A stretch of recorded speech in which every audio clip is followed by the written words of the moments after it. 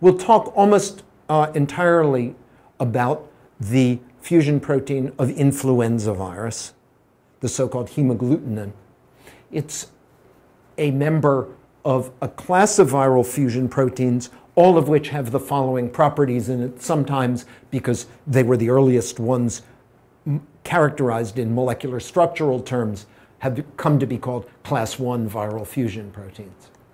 These proteins are synthesized as a precursor, which is cleaved usually en route to the cell surface by a protease in the late compartments of the secretory pathway, furin, for example, into an N terminal element, which is usually a receptor binding domain. Some viruses have proteins like this, but have a separate receptor binding protein.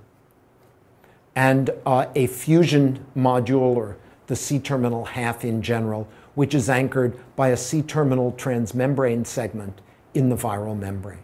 Examples of this sort of protein, they are all trimeric assemblies of this sort of um, organization are influenza, HIV, and the filoviruses such as Ebola.